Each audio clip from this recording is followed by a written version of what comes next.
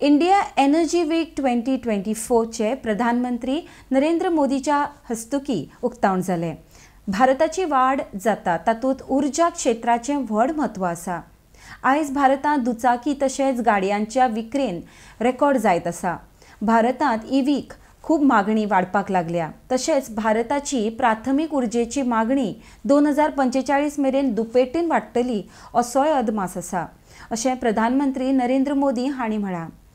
दोन हजार पस्तीस मेरेन गोंयांत साठ टक्के सोलार आनी पावर उर्जा घालपाच्या नदरेन गोंय पावल मारता अशें मुखेलमंत्री दोतोर सावंत हांणी म्हळां अर्डेस्को bureau report Here in Goa, amidst the beauty of our beaches and verdant landscape, we explore clean energy solution, cutting-edge technologies and sustainable practices that will shape the world energy landscape.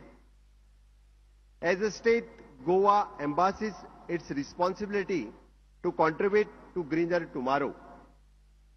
We are actively transitioning towards the renewable energy sources with ambitions planned to achieve 60% solar and wind energy mix by 2035. We are leading the way in electric vehicle adoption, aiming for 100% EV penetration by 2027. Our initiatives in energy efficiency and, con and conservation future demonstration our commitment into sustainable future.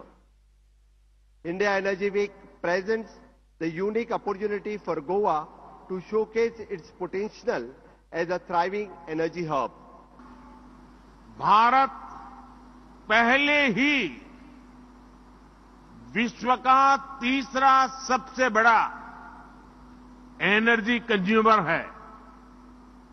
Bharat विश्व का तीसरा सबसे बड़ा oil consumer और तीसरा सबसे बड़ा LPG consumer भी है।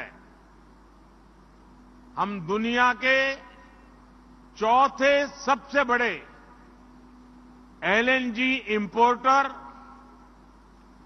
चौथे सबसे बड़े रिफाइनर और चौथे सबसे बड़े ऑटोमोबाइल मार्केट वाले देश हैं। आज भारत में दो पहिया और चार पहिया वाहनों की बिक्री के नए रिकॉर्ड बन रहे हैं। भारत में ईवीज की लगातार डिमांड बढ़ रही है। ऐसे अनुमान भी है कि भारत की प्राइमरी एनर्जी डिमांड 2045 तक दोगुनी हो जाएगी। यानी आज अगर हमें हर रोज 19 मिलियन बैरल्स के आसपास तेल की ज़रूरत होती है तो वो 2045 तक 38 मिलियन बैरल्स तक पहुँच जाएगी। साथियों, भविष्य की इन जरूरतों को देखते हुए, इस बात को समझते हुए, भारत अभी से तैयारी कर रहा है। बढ़ती हुई एनर्जी डिमांड के बीच भारत देश के हर कोने में एफोर्डेबल एनर्जी को भी इंश्योर कर रहा है।